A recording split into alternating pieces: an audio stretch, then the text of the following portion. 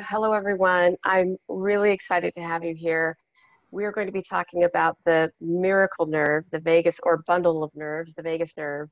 And I am obsessed by this nerve. And so uh, we're here with a guest who is going to be speaking at the conference um, and is going to be talking about this nerve. And then we'll hear a little bit about it about 15 minutes before uh, on this call. So Bashar Badran is our guest, and um, he's going to walk us through what this nerve is, why it's important, and a little bit about what he'll be talking about at the conference.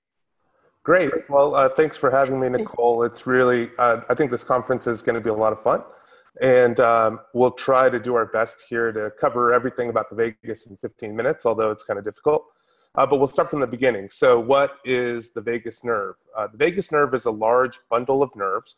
It contains about 100,000 individual nerves, um, which creates a nerve tract. It's really this kind of bundle. It's about the size of like a small OK sign, and it runs from your brain and targets every uh, internal bodily organ that you have. So, it, it's a connector between your brain and all of these organs, including your heart, your lungs, your spleen, your kidney, your bladder, your intestines, your, reproductive, your reproductive organs.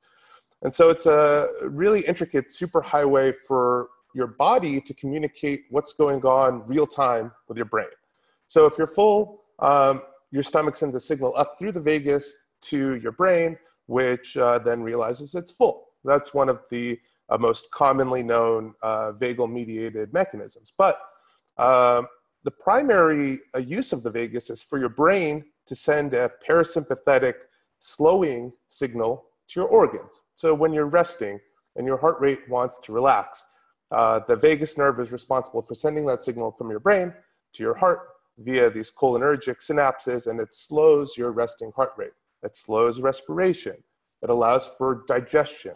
Um, and so it's really this key uh, bi-directional communicator um, that's integral to day-to-day uh, living. The um, could you speak a little bit about? You mentioned a little bit about how the nerve also lets people know to, or lets people's bodies know to slow their heart rate and things like that.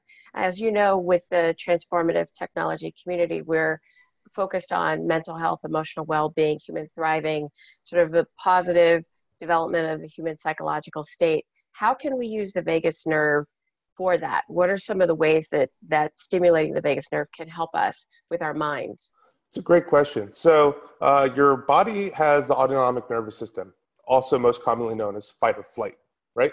Um, and so there's the uh, parasympathetic and the sympathetic nervous system. Sympathetic is involved in kind of elevating heart rate, increasing uh, your ability to get ready to fight. And um, parasympathetic is like a parachute. So it's the slowing um, of all of these biological functions when you're in a relaxed state. Uh, the vagus nerve, especially in a lot of the research that we've been doing, um, when you activate it, can actually induce a small uh, decrease in heart rate. It induces this kind of vagal mediated relaxation response um, that people are really interested in and are exploring right now in the research space. Uh, it also, long term stimulation of the vagus nerve increases heart rate variability, which is associated with all of these really positive health and well-being markers. So the vagus nerve is really this key uh, cardiovascular uh, mechanism that you can push and pull uh, depending on the outcomes that you want. Sometimes you want a more of a heavy vagal mediated tone. Sometimes if you're playing a sport, you don't want to have like a really high uh, vagal tone. You want to be up and ready and active. Um, so it's really a contextually dependent nerve that can be uh, pushed and pulled both ways. Mm. Well, um, that actually raises, um, I would love to hear a little bit about some of the research that you're doing right now that you're the most excited about with the vagus nerve. Of course. So, uh, vagus nerve uh, stimulation was invented in the 1980s by a friend of mine, uh, Jake Zabara, out of Philadelphia. They ended up actually uh, creating a company known as Cyberonics. Uh, Cyberonics was just recently acquired by LivaNova. Um, and they commercialized the first ever uh, neuromodulation therapy for epilepsy and treatment refractory depression.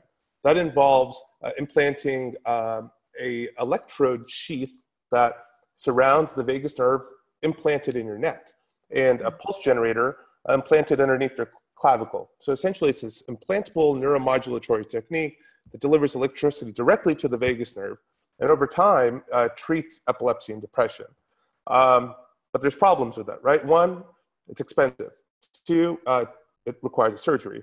Really to translate and create new paradigms uh, because of one and two, right? So we can't just say, oh, we'd like to explore this uh, behavioral intervention with VNS because we are going to need six months of planning, a neurosurgical operation, and all of that stuff. So in the last five years or so, we've been developing non-invasive VNS. A non-invasive VNS uh, targets the vagus nerve um, in a different mechanism. So the vagus nerve, even though it does run throughout your entire body, uh, there's branches of the nerve known as the auricular branch of the vagus nerve that innervate your ears, your left and right ears. We use that, uh, that target as an entry point into the vagal system by stimulating the ear to mimic the effects of cervically implanted VNS. So uh, pretty much, yeah, it's amazing. We've been developing it at the Medical University of South Carolina in conjunction with the City College of New York, uh, where we do a lot of these studies. And at first, they started off as safety, tolerability, feasibility studies, uh, which were all positive and published in brain stimulation. The follow-up studies were then, uh, does this actually activate the vagal system, right? Perhaps the, the small bundles don't really go into the main bundle of vagus nerve. So we ran a series of experiments testing uh, if you can modulate heart rate, heart rate variability, respiration rate, and we even ran um, studies where we put non-invasive VNS um, and stimulated individuals in an fMRI scanner to look at the upstream direct brain effects. Mm. All of those studies mimicked cervical uh, VNS, implantable. So we felt pretty confident that we've developed this system with parameters that target the vagal afferent and efferent systems. Now uh, we're going to phase zero clinical trials.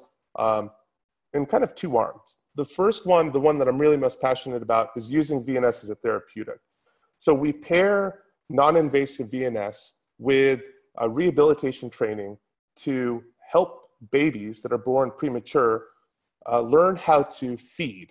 So uh, we see a lot of uh, preterm babies that are born with uh, some sort of uh, brain injury, uh, either in the womb or as they come out, and they don't know how to feed or suck on a bottle. So an occupational therapist has to train them for six weeks or so. They stay in the hospital. It's expensive. It's really taxing on the family. There's yeah. really no good intervention. So what we're doing is pairing stimulation with uh, this bottle sucking paradigm to rapidly accelerate and enhance the outcomes. That seems to work in the first eight babies. That's really some of the most exciting stuff um, that we're doing. We're also doing uh, things in the cognitive enhancement and meditation space where um, Perhaps there's an afferent projection to the cortex in which you can increase attention and concentration and memory. So we're doing this uh, various cognitive enhancement studies and we're also exploring its use in meditation. So we already do e-meditation uh, with TDCS, which is transcranial direct current stimulation. But if we can access um, the vagus nerve through the ear, it makes a pretty ripe target to enhance and accelerate meditative states.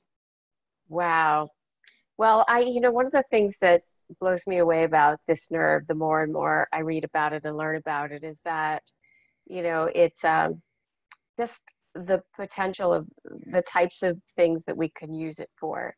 Um, and that's just very, very exciting. And so I am so excited that you're going to be coming out, um, Dr. Badran, and, you know, sharing your research with us and also you know the things that that you were very excited about and um, you know this um, our community and also the wider community that's interested in neuroscience and optimization and just the human psychological state.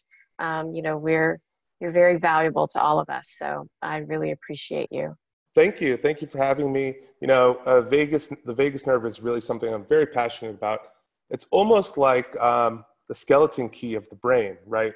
Uh, we're really approaching on a time where we can um, rapidly accelerate and enhance uh, neuroplasticity, which historically we haven't been able to accomplish. It seems to occur with VNS. And if you can harness that power, you can really treat a variety of neuropsychiatric disorders and improve human wellness, performance, behavior, and ultimately have this really powerful tool that's available commercially at home or in the clinic um, that can help a lot of people without a pharmacological intervention. So that's really our goal, the direction of our research.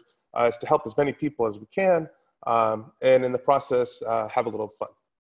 yeah. Absolutely. of course. Great. Okay. Well, thank you so much. Um, and um, I will see you soon. Thank you. Take care.